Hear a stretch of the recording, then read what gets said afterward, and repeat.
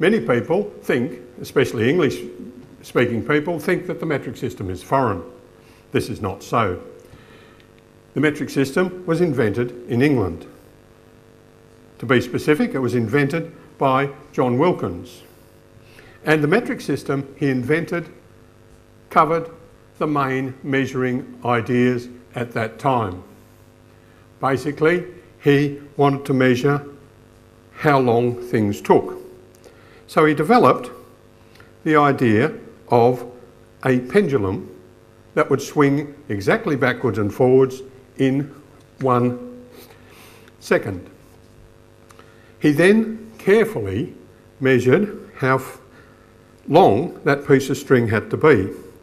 And once he'd established that, he had what he called a universal measure. And that universal measure is what has come down to us as a metre. He used that metre to measure time, obviously, but also to measure things like area, where he got a square that was a metre long, a metre wide, and he could measure floor areas, wall areas, or whatever. If he wanted to measure a cubic measure, he simply took a metre by a metre, by a metre high, a metre wide, etc. And by doing that, he was able to measure volume. Measuring mass was a little harder, and basically, he did it this way. He took a tenth of a metre. Now, for convenience, I'll use my fist, which turns out to be at 100 millimetres wide, is a tenth of a metre. Conceptually, then, he devised a container that looked something like this. This was a container that was a tenth of a metre wide, a tenth of a metre long, and a tenth of a metre high. Bishop Wilkins' concept was that if you fill this with water right to the very top, and he was quite specific about the water, it had to be uh, water that was distilled rainwater. He then took the contents of that water to be, have a mass of one, what we call one kilogram. And so he had devised a system where with one single measurement, he could measure all of the things that he knew about. He published this, he wrote it out in five pages of a major book that he had been commissioned to write. Here is a copy of the book here. And this book is 600 pages long. The five pages about the universal measure are on page 190. And the book itself failed to sell and it was a flop. It did not sell. And nothing happened for about 120 years.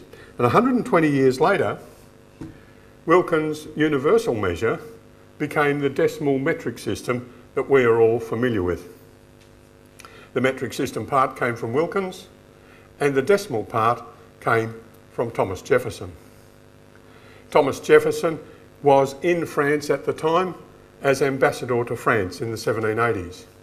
And before he went to France, he worked with George Washington to produce a decimal currency for the USA. And after he left France, he put a proposal for a whole decimal measurement system to Congress, but it failed. Thomas Jefferson's philosophy can be summed up fairly simply. He believed that to be a Democrat, belong to a democracy, you had to know about working out numbers and calculating things, just as a voter, to be a voter. And he symbolised this, with my emphasis, as doing things in plain number. Let's now apply these principles to our modern life. For example, babies are born, and when they're born, the first thing that happens to them, they're put onto a set of scales. Now, these are highly, highly, highly sophisticated scales to allow for the wriggling of babies, probably. What they do is they measure the baby's mass over and over and over and over again, and then use a highly sophisticated technique to analyse the statistics of those measurements. That way you can measure babies accurately and precisely right down to a single gram. Then, if the baby changes its body mass a few days later, you know which direction it's going in. Babies are supposed to go up in body mass. So if one goes down at all, even by a small amount, then you know that that baby is in some sort of trouble. It might have a congenital thing, it might have um, perhaps an infection. And if that's the case, then you need to know exactly how much the baby mass is so that you can figure out how many micrograms of treatment you need for how many grams of baby. But people are working against this. Without a policy for baby mass, other forces operate. For example, if an uncle drops by, we'll call him Jeremiah, and Uncle Jeremiah sees a number like 3387, he'll immediately change it to 3.4 kilograms. Grandma Geraldine might drop by, and if she drops by, then she will change that immediately by asking one of the nursing staff, oh, what's that in pounds and ounces? Now, neither of these people intend to hurt the baby. But if this baby drops by that 36 grams, Uncle Jeremiah's method won't work. Grandma Geraldine's method definitely won't work. And Grandma Geraldine needs to think about averages and reference points like what's a small baby, what's a big baby, and what's a medium baby. In Uncle Jeremiah's case, he has been successful all through the rest of the medical community. And the rest of the medical community uses his principle of decimals, shifting decimals backwards and forwards, and so on. And as he does that, a lot of errors are made. These errors lead to deaths. Deaths that are unnecessary because of the lack of a policy for measurements. 98,000 people die the, of, from medical errors in the USA every year, and most of these medical errors are medication errors and a lot of people are dying from or suffering from those errors. They don't need to do this. We don't need this fault. They could use the principle published in the building industry in Australia, which has been highly successful with their metrication program. The building industry in Australia has a policy of measuring all lengths in millimetres. They also have a policy of measuring things like area, say the area of the roof of this house, in square metres. They've actually written down this policy and here it is here. That is, we will measure in millimetres, metres and kilometres where we've got to bring stuff to, onto the site. But they also specifically say what measurements won't be used. In this case, the centimetre shall not be used, it'll never be written down and it'll never be used in the calculation. The metrication policy reduced the number of measuring words in the Australian building industry so much that you can actually put all or the measures that you need for 99% of the work in a building site, you can fit it all onto the back of a business card. Not only is it simple in look, it's simple in training. You can train people with this in under a minute. You can also know that with these simple measures, that on a building site in Australia, in millimetres, without centimetres, there are no fractions. There's no common, vulgar fractions, no decimal fractions, and because there's no decimal fractions, there's no decimal points, so there's no sliding or slithering of decimal points from side to side. You don't need any decimal fractions, so you don't have decimal points on a building site. They just don't exist. And so everything is whole numbers and everything is uh, planned, designed, cut and fitted simply with simple whole numbers. Not all companies, however, do this. Other companies choose different ways of managing their metrication process. At NASA, the metrication process started about 40 years ago. And their policy was to go metric if you feel like it. This is a matter of choice. You choose. Should you use millimetres or centimetres? You choose.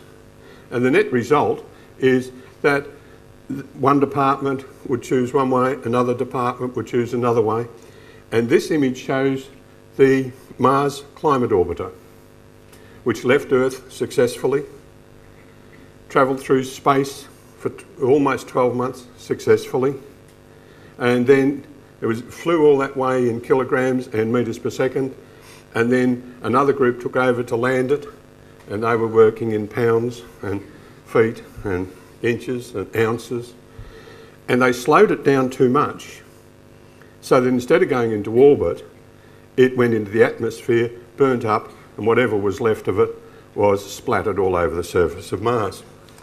At a cost of $327.6 million, according to the inquiry they had later on. 327, a lot of money. Saving millions is about saving money. Recall those 98,000 people who die every year in the United States with medical accidents. They cost $3.8 billion per year. Also recall that in Australia we, we, successfully changed the building industry over to metric in a two year period. It was very, very quick. And at the end of that time, I was working with a company where we did a whole survey of the contractors and subcontractors and we worked out that they were saving 10% on their gross turnover.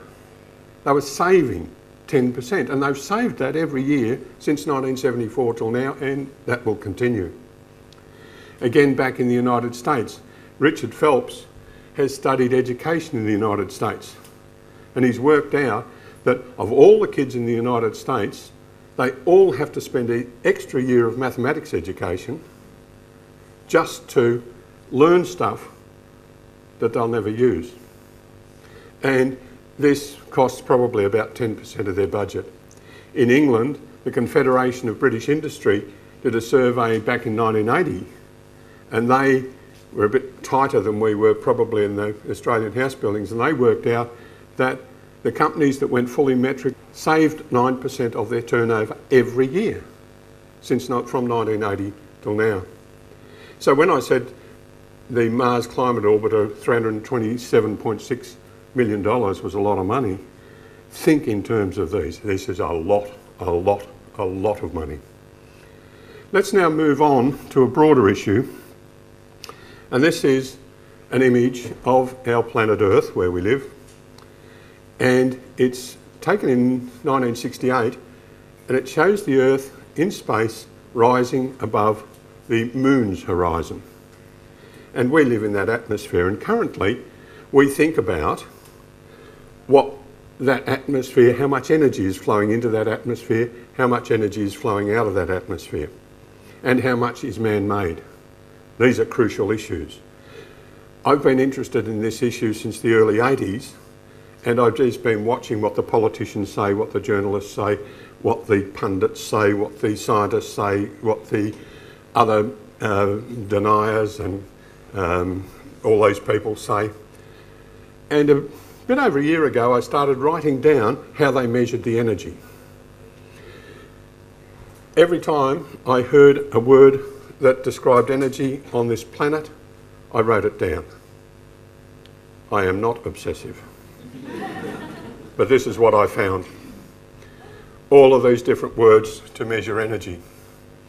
There are things like atomic energy, barrels of oil equivalent, lots and lots and lots of calories, lots and lots and lots of British thermal units, and all of different sizes, and a lot of them ill-defined. 199 old measuring words need 39,402 conversion factors for even the most basic politician to understand, for even a journalist to understand. Other than that, they'd have to use the metric system. And there's one word. It's a joule.